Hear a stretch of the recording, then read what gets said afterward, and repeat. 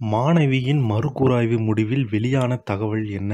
நீதிமன்றம் சொன்ன பல்வேறு தகவல்கள் இரண்டாவது முறையாக மாணவி உடல் உடல் கூராய்வு செய்வதில் புதியதாக எதுவும் கண்டுபிடிக்கவில்லை என்றும், இருமுறை வீடியோ பதிவு முழுமையாக செய்த செய்யப்பட்டதாகவும் அரசு சார்பில் தெரிவிக்கப்பட்டது.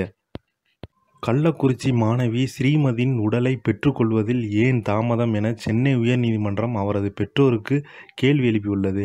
கள்ளக்குறிச்சி மாவட்டம் சின்னசேலம் அருகே உள்ள கனியமூரில் செயல்படும் தனியார் பள்ளியில் படித்து வந்த மாணவி ஸ்ரீமதியின் மர்மமான தொடர்பாக தந்தை ராமலிங்கம் தொடர்ந்த வழக்கு விசாரணை சென்னை உயர்நீதிமன்றத்தில் நேற்று முன்தினம் நடைபெற்றது.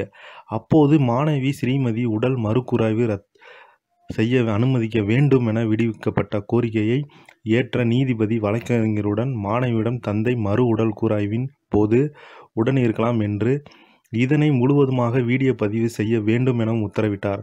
அதே சமயம் மறுகூராய்வு முடிந்த பிறகு மாணவியின் உடலை எந்தவித எதிர்பாரமின்றி பெற்றுக்கொள்ள வேண்டும் எனவும், இறுதிச் சடங்குகள் அமைதியாக நடத்தப்பட வேண்டும் என்பதை உறுதி செய்யவும் சென்னை உயர்நீதிமன்றம் நீதிபதி சுதீஷ்குமார் உத்தரவிட்டார்.